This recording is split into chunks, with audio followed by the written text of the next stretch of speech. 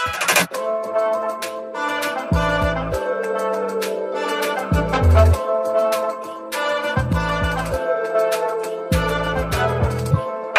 El dominicano Eli de la Cruz muestra su poder en la pierna cada vez que tiene oportunidad. Esta vez sostuvo un duelo latino contra el abridor de los piratas Joan Oviedo, donde el dominicano salió avante gracias a su gran sprint para conseguir la ventaja de los rojos de Cincinnati. La Cocoa salió inspirado desde su primer turno haciendo daño contra Oviedo. Sostuvo duelo corto donde de la Cruz impactó el slalde de Joan de 88 millas para mandarlo hacia el jardín derecho Batazo bien colocado y que hizo que los rojos anotaran dos carreras. La velocidad de Eli de la Cruz al momento de correr la base y llegar barrido a tercera hacen que sea el más veloz de la MLB. De hecho, registró una impresionante velocidad media de 30.5 pies por segundo. Esto lo convierte en el mejor en MLB, siendo este su cuarto triple de la temporada.